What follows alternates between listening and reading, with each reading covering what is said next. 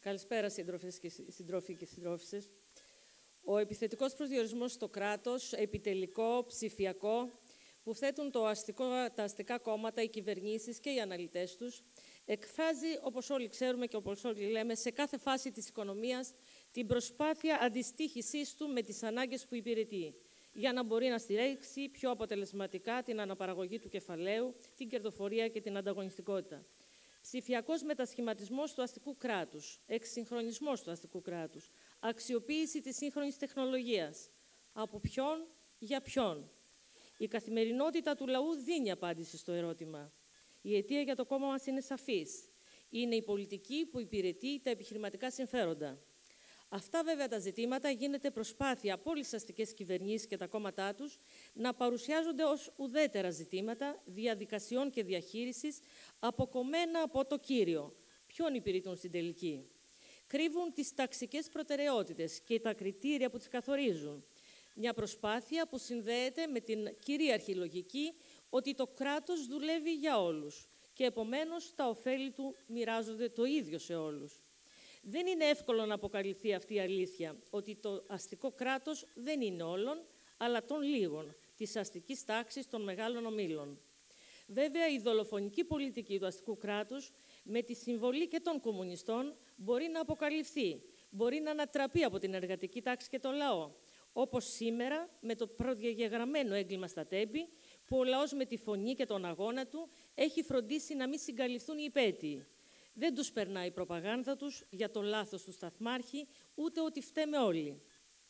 Την ώρα που κυβερνήσεις και επιχειρηματικοί όμιλοι μιλάνε για ψηφιακή μετάβαση, οι υποδομές για την ασφάλεια του λαού είναι τραγικές, στα χιόνια αποκλείεσαι, στον Ευαγγελισμό πέφτει το ρεύμα σε ώρες εφημερίας μάλιστα, στα επίγοντα περιμένεις ατέλειωτες ώρες, γιατί για αυτούς ψηφιακή μετάβαση σημαίνει ξεκοκάλισμα εκατομμυρίων, σημαίνει αξιοποίηση Ταμείου Ανάκαμψης Δημοσίων Επενδύσεων και άλλων για τις δικές τους ανάγκες, τις δικές τους προτεραιότητες, τις κερδοφόρες business τους.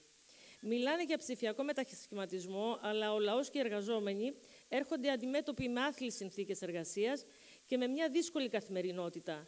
Έρχονται αντιμέτωποι με την ψηφιακή εγγραφειοκρατία, με την ανυπαρξία βασικών μέσων για να κάνουν τη δουλειά τους παμπάλα ηλεκτρονικοί υπολογιστές στο δημόσιο, ανυπαρξία διαλειτουργικότητας των πληροφοριακών συστημάτων, δύσχρηστα για τους πολίτες ψηφιακά εργαλεία, εκατομμύρια που δίνονται για κλειστά δεδομένα και πλατφόρμες που δημιουργούν πάμπολα προβλήματα στους υπαλλήλους και στο λαό που συναλλάσσεται με τις υπηρεσίες. Ο συνδυασμός αυτός με την τεράστια υποστελέχωση που υπάρχει ενισχύουν ακόμα παραπάνω την απαξίωση των δημοσίων υπηρεσιών, παρουσιάζοντας ως λύση τη λειτουργία με ιδιωτικο-οικονομικά κριτήρια, σπρώχνοντας τους πολίτες τους ιδιώτες που έχουν χρόνια τώρα εισχωρήσει σε αρμοδιότητες του δημοσίου. Μόνο ενδεικτικές είναι οι παρακάτω περιπτώσεις. Ο ΕΦΚΑ του Κατρούγκαλου και του ΣΥΡΙΖΑ έγινε ηλεκτρονικός ΕΦΚΑ. Ο ΙΕΦΚΑ της Νέας Δημοκρατίας του Βρούτσι και του Χατζηδάκη. Αλλά οι περικοπές της συντάξης παραμείνανε, οι κατα... κατώτερα όρια των συντάξεων παραμείνανε καταργημένα, που σημαίνει ότι βγαίνουν συντάξεις ορφανών παιδιών ακόμα και 20 και 50 ευρώ. Οι αιτήσεις για τη συνταξιοδότηση μπορεί να γίνονται πλέον ηλεκτρονικά. Όμως, για να συμπληρώσει την αίτηση ο μελλοντικός συνταξιούχος, χρειάζεται έναν ιδιώτη ειδικό, λογιστή, δικηγόρο και άλλα, που βέβαια με τις ρυθμίσεις της κυβέρνησης Νέας Δημοκρατίας μπορεί και να του βγάλει στη συνέχεια πιο γρήγορα τη σύνταξη να πληρώσει. Οι αιτήσεις στα ΚΕΠΑ για την πιστοποίηση αναπηρίας γίνονται μόνο ηλεκτρονικά αλλά η εξέταση του ανάπηρου γίνεται μετά από έξι μήνες, ακόμα και χρόνο. Οπότε, τι σημασία έχει από μόνη της η χορήγηση, η γρήγορη αίτηση, όταν μπορεί μέχρι να βγει το αποτέλεσμα να έχει κάποιος πεθάνει; Οι εργαζόμενοι στον ΕΦΚΑ αποκαλούν ρομπότ το αυτοματοποιημένο σύστημα που έχει εγκαταστήσει ο Υπουργός Εργασίας για να βγαίνουν οι λεγόμενες fast track συντάξεις των δημοσίων υπαλλήλων. Αποτέλεσμα συντάξεις στο περίπου, όπως τις χαρακτηρίζουν οι εργαζόμενοι, μειωμένες από τα λάθη, οι αποφάσεις συνταξιοδότηση δεν στέλνονται γρήγορα και με συστημένες επιστολές για οικονομία, ο συνταξιούχος δεν ξέρει τι παίρνει, χάνει το τρίμηνο της ένστασης και του παραμένουν οι μειώσεις. Και βέβαια τα ραντεβού στον ΕΦΚΑ είναι ηλεκτρονικά, αλλά λόγω έλλειψης προσωπικού κλείνονται για μετά από δύο μήνες, όπως εξάλλου γίνεται και στα νοσοκομεία και αλλού.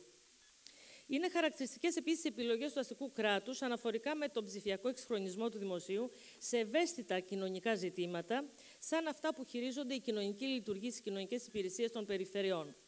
Από το 2019 ξεκίνησε η ψηφιακή πλατφόρμα AnyNet για την υιοθεσία και την αναδοχή των παιδιών, προκειμένου να προωθούνται γρήγορα οι σχετικές διαδικασίες.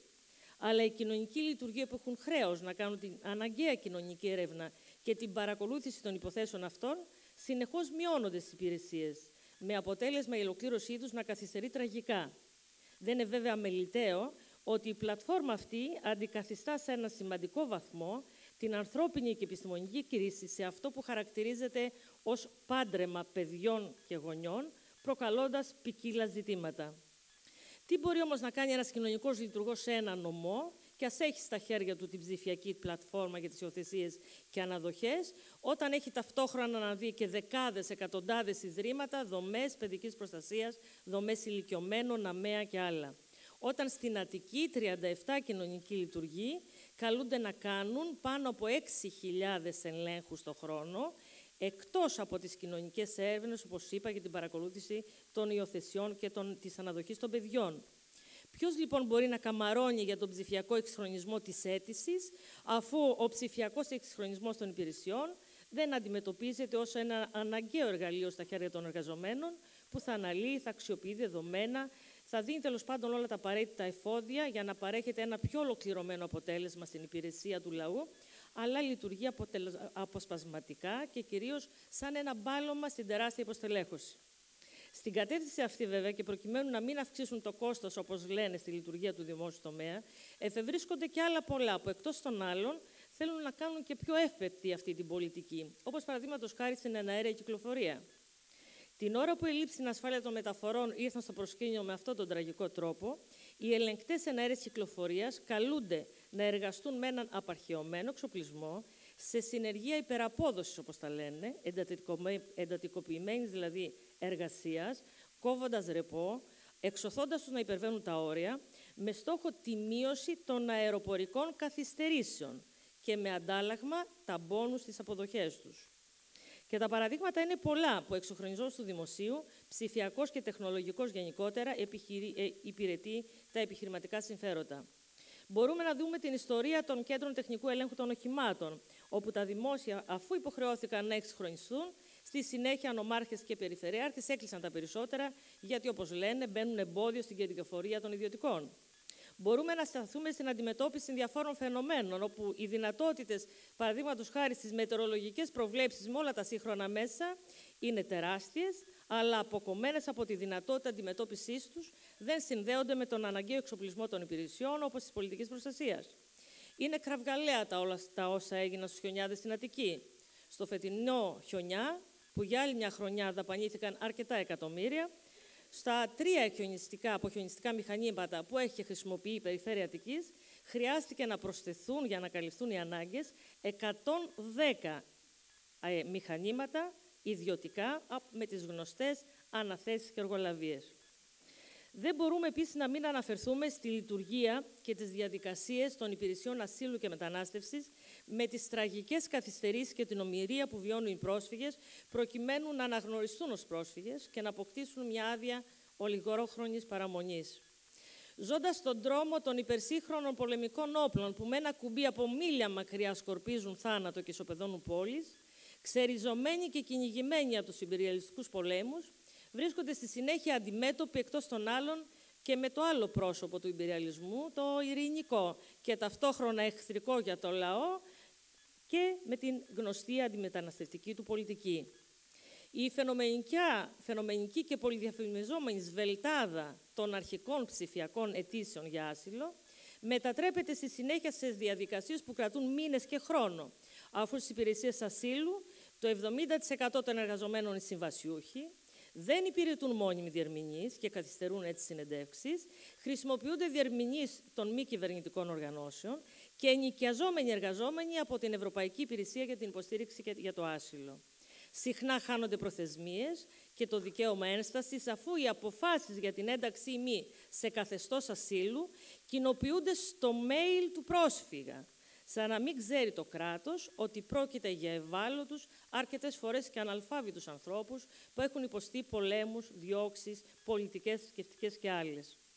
Και να κλείσω με τις ηλεκτρονικές και υβριδικές διαδικασίες της συνεδριάς των Δημοτικών και Περιφερειακών Συμβουλίων που αξιοποιούνται για τον αποκλεισμό των παρεμβάσεων και των κινητοποιήσεων των μαζικών φορέων και βέβαια και του νόμου Χατζηδάκη με τις ηλεκτρονικές γενικές συνελεύσεις και ψηφοφορίες που αποτελούν εργαλεία χτυπήματος των συλλογικών μαζικών διαδικασιών, ζητήματα που συνεχίζουμε να αναμετριόμαστε στο κίνημα μέχρι να βάλουμε με τους αγώνες μας τη δικιά μας σφραγίδα, που να ανεβάσουμε το κίνημα στο ύψος των αναγκών και είναι σίγουρο πως οι κομμουνιστές με τις αρχές, τις αξίες μας, τα ιδανικά και την ανυποχώρητη πάλι θα συνεχίσουμε να μπαίνουμε μπροστά και να εμπνέουμε την πάλη της εργατικής τάξης για να κερδιθεί η μάχη για ζωή με δικαιώματα.